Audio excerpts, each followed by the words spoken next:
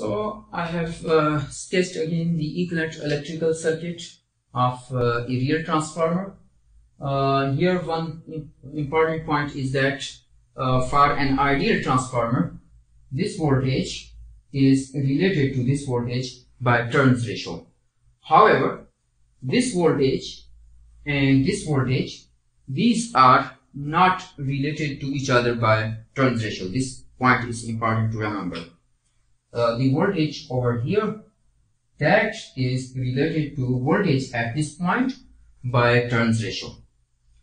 Uh, this circuit referred to primary side became this equivalent circuit. So here is the same circuit with all quantities referred to primary side. Uh, this circuit is uh, a little bit difficult to analyze because it involves more loops if we can somehow reduce the number of loops, then uh, the analysis of this uh, electrical circuit uh, will become easier. So how we can do that? Uh, what we observe is that uh, this this voltage, what is this resistance? This is resistance of uh, copper windings on the primary side of the transformer. And generally, this winding has very low resistance because it is copper wire. Uh, this resistance will be very small. Likewise, what is this effect? This is effect due to leakage uh, flux. And uh, if you have good design of uh, a transformer, leakage flux uh, will be quite small. And therefore, this whole impedance is very small. This quantity is small, this is small, and this impedance is small. That means that voltage drop across this impedance will be very small and this implies that this voltage will be approximately equal to this voltage. This voltage drop is very small therefore this voltage is approximately equal to this voltage.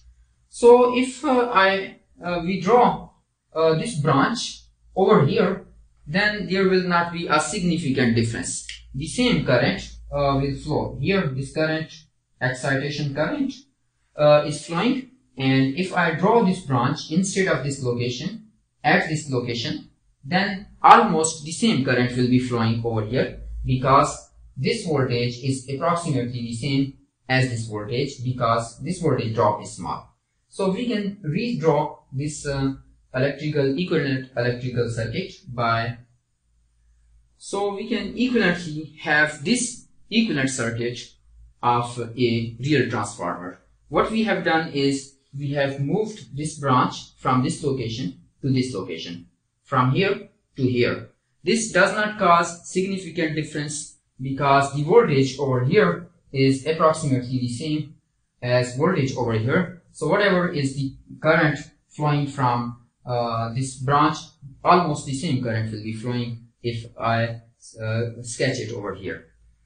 Now we can lump this resistance and this resistance together to have this equivalent electrical circuit of a transformer, simplified equivalent electrical circuit of a transformer. Uh, here uh, the sum of this resistance and this resistance, uh, this is denoted by R equivalent uh, refer to primary circuit where R equivalent refer to primary side that is equal to Rp plus A square uh, Rs and similarly this is Jx equivalent refer to primary side where X equivalent refer to primary side that is equal to Xp plus A square Xs. So this is simplified equivalent electrical circuit of a transformer. This is uh, less accurate than this one, however, more easier to analyze. And uh, we always uh, make a trade trade-off between accuracy and complexity. Uh, over here, what we have done is we have referred all the quantities to primary side and then obtained a simplified equivalent electrical circuit. We could have also uh, referred all the quantities to the secondary side and could have obtained an equivalent electrical circuit referred to secondary side. So the procedure is quite similar. Uh, you can do it uh, as a homework uh, so I leave that part uh, for your homework. Uh, another a little bit more simplification that can be uh, done in this equivalent electrical circuit is that if we have good design of a transformer, this excitation current will be very very small. So if you further simplify this equivalent electrical circuit, this will be this one.